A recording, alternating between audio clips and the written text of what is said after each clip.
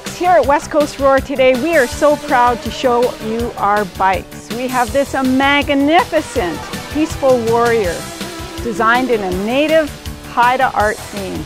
It is spectacular. Over here we have the Western Star, which is also a spectacular piece of rolling art.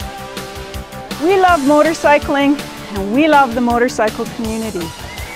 It's a sistership, it's supportive, education, and it is bar none fun, fun, fun.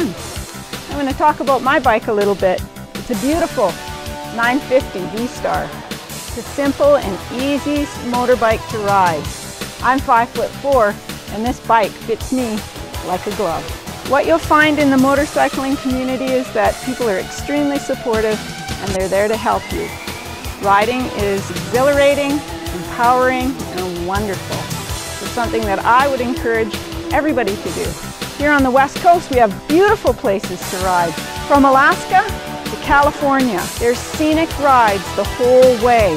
Why not open yourself up to a new experience and give riding a try today?